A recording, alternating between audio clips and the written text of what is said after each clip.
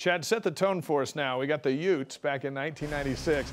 They're having a pretty good season, too. Take us to this one. Oh, this is a big game. Uh, this is such a fun rivalry and so great to go into this game. And I think after this game, their safety, Hollywood Harold Lusk, said, we would have stopped the run, we would have beat them point blank back. And we're like, yeah, well, you couldn't stop the run.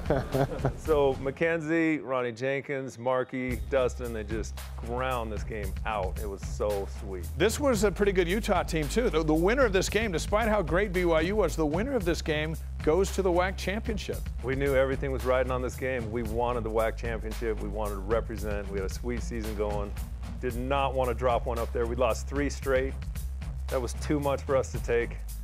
And oh man, I'm so grateful that we went up and won this game. KO, the strategy was different here. You guys like to go out and catch the football, but not today. A total strategy change, and the Utes couldn't handle it. Sarkisian passed for just 70 yards on 7 of 12 completions, and you pound the Utes. It don't matter when you got that W, sir. I take zero catches for a win any day.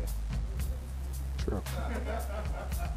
I don't know if they believe you out here. I'm sure they believe you. You guys supposed to clap. Got a lot of guys who know you here. And shutting down Utah like this as the offense ran over them. But defensively, uh, what was that feeling like 20 years ago?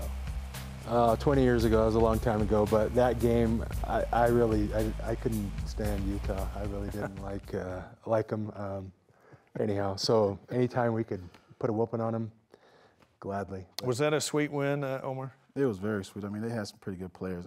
Me and Tim took it personally. They had Kevin Dyson and I think a guy named Rocky Henry. So it was it was real sweet. I got ran over in the end zone by that big running back though. Ma'afala. ran all the way over.